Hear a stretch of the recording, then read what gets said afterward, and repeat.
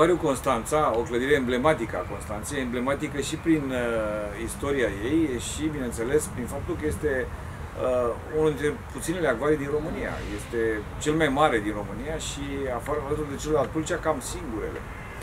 Acvariul Constanța este uh, o, sau funcționează într-o clădire, uh, să spunem așa, reamenajată.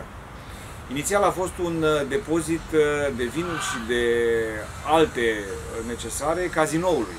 Între acvariu și casino fiind un tunel, un tunel cu șine, unde și l-aveam, l-am văzut desenat pe perete, adică desenat în, structura, în structura care a fost, bineînțeles, după aceea umplută. O,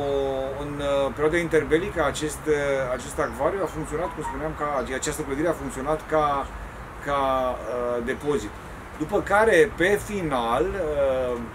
a funcționat uh, când casinoul n-a mai putut uh, permite jocuri de noroc, respectiv după al doilea război mondial, a funcționat ca restaurant. Mititei, grătărei și alte ale erau servite în exteriorul clădirii, pe la mese și preparate la interior. Acum 60 de ani, acvariul a fost,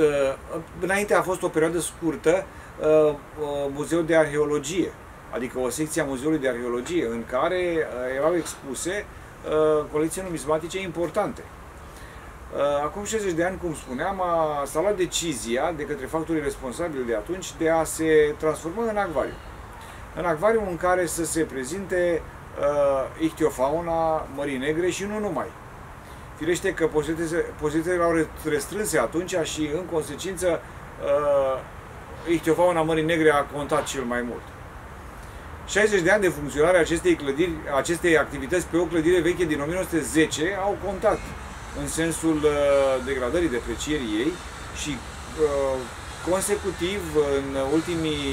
ultimii ani, uh, de prin 2006, au fost realizate după, după ce s-a făcut un studiu de structură și a văzut că structura uh, suferă, s-au făcut o mulțime de consolidări succesive uh, în mai multe direcții, în sensul uh, echilibrării Uh, vieții sau evoluției sau îmbătrânirii clădirii. Respectiv, s-au consolidat și asta a fost în perioada mea de management, am consolidat stâlpii de susținere din cei, din cei 8 stâlpi, 6 erau uh, cu nevoie de, de reparații și s-a făcut această consolidare a lor.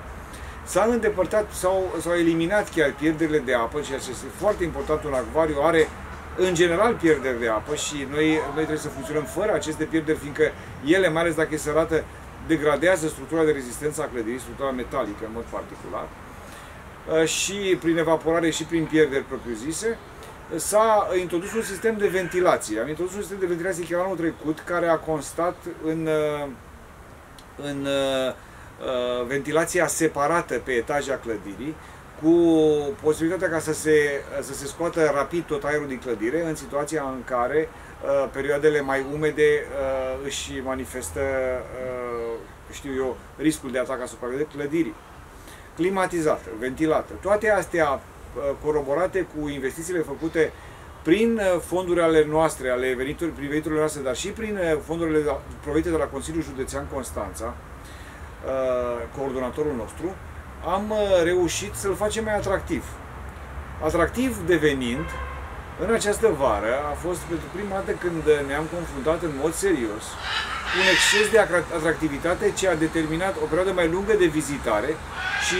sub spectrul limitării numărului de vizitatori pe standard de ISU după momentul colectiv au fost, uh, au fost uh, intensificate astfel de standarde și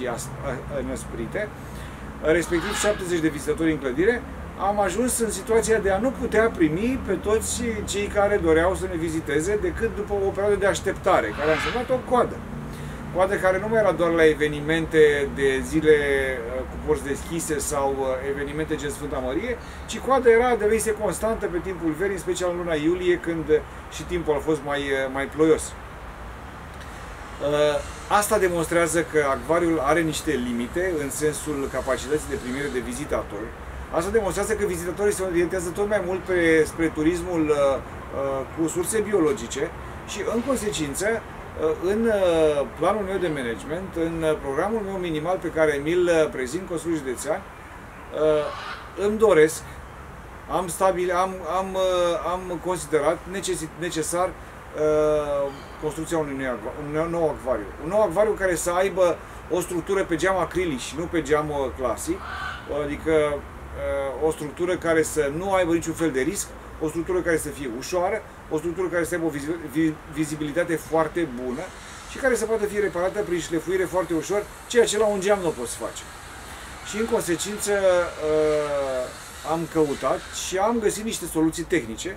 prin care uh, realizăm, construim un acvariu chiar în incinta complexului muzeal. Un acvariu de dimensiuni medii, un acvariu care să permită în incintă un număr de câteva sute de vizitatori la un moment dat, 200-300 de vizitatori la, la un moment dat, un acvariu care să însemne un bazin mare, care să însemne pește lună, să însemne rechin și care să, să, ridică, să ridice atractivitatea uh, complexului Muzeal de Științe ale Naturii, mai ales în perioadele de, dintre sesiunile de lucru de la delfinariu. Sunt perioade destul de importante, de 2, 3, 4 ore, perioade care uh, nu pot fi consumate doar prin vista microrezervație și planetariu, ci ar putea să fie consumate și prin vista la acvariu. În felul acesta circuitul se, se completează și estimez un număr de vizitatori undeva la 2-300 de, de, 200 de, de persoane, adulți și copii. Ceea ce ar însemna că economicește un astfel de acvariu s-ar putea, uh, s-ar putea uh, uh, amortiza într-o perioadă destul de scurtă de timp, ceea ce uh, asigură criteriile economice, dincolo de cele muzeistice, de cele de atractivitate și cele de responsabilitate față de vizitatori, cărora trebuie să le prezentăm elemente științifice și educative. Și, în consecință, susțin cu tărie acest acvariu la, la Constanța. Îl susțin la Constanța și la complexul muzeal. Îl susțin chiar în condițiile în care vechiul acvariu va mai funcționa o perioadă, uh, fiindcă uh, acolo putem prezenta o anumită categorie a ichtiofaunei într-un anumit mod sau mijloc de prezentare, pe când dincoace să prezentăm elemente ce țin de, de, de Marea Neagră, ce țin de uh, Oceanul Mondial. De ce? Acvariul uh, din Constanța mai are o problemă, respectiv în contextul încălzirii globale, uh, șansele de răcire pe timpul verii, atunci când și aici cei mai mulți turiști, sunt tot mai reduse, tot mai dificil de răcit o incintă uh, cu apă, fiindcă realizează condens și se devrecează și mai mult. Și atunci, în situația asta, nu mai putem ține specii indigene. Speciile indigene, fiindcă Marea Neagră e rece, speciile indigene sunt criofile, adică iubitoare de apă rece. Și iată de ce, într-un, într-un acvariu nou pe acrilic, ce nu este termoconductiv, într-un acvariu uh, modern am putea ține specii de apă rece, specii care ar putea fi reprezentative pentru Marea Neagră și pentru activitatea educativă a noastră și științifică. Toate astea, uh, toate astea ar duce la o completare a, a circuitului de vizitare la Complexul Muzeal de Științe Naturii și, bineînțeles, cu păstrarea acvariului uh, în, în structura actuală pe specii exotice, pe specii termofile de apă caldă. Ce faceți de aniversarea acvariului? Uh, cu prilejul acestor 60 de ani, o sumă rotundă, șeful secției de la acvariu mi-a propus și am acceptat, împreună cu fostul director științific domnul Papadopol, să organizăm un simpozion uh, aniversar, un simpozion cu care, în care să prezentăm uh, momente, o expoziție fotografică, momente din istoria acvariului, ceea ce o să fie foarte interesant, fiindcă vine într-un context uh, într-un context de momente de evoluție a zonei, zona faleză, e foarte interesantă, romantică, frumoasă, și, uh, bineînțeles, uh, perspective. Momente de istorie și perspective viitoare momente de istorie legate de, de zona în care se este plasat acvariu și, bineînțeles, de evoluția științifică locală a, a, la nivelul Constanței, de studii de cercetări marine și nu, nu în ultimul rând de universitățile ce s-au dezvoltat a, pe profil biologic la Marea, Marea Neagră și care, uite, ne furnizează, ne furnizează muzeograf, ne furnizează personal care să funcționeze în astfel de, în astfel de instituții. Deci ne, ne dorim uh, un astfel de moment, îl organizăm, vă invităm uh, undeva la ora 12 pe, pe, pe 15 noiembrie.